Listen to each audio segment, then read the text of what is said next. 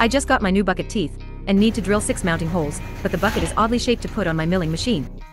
Fortunately, I think I have the right tool for the job. This is the Vevor 1300 watts magnetic drill. It comes with a set of 11 annular cutters, from 12 mm to 27 mm and a chuck. I like its portability and the magnet is quite strong, and has a good grip on the workpiece. Here I'm drilling half-inch plates, and it's like a hot knife through butter. I didn't know what to expect, but I was pleasantly surprised. So no more wrist breaker for me.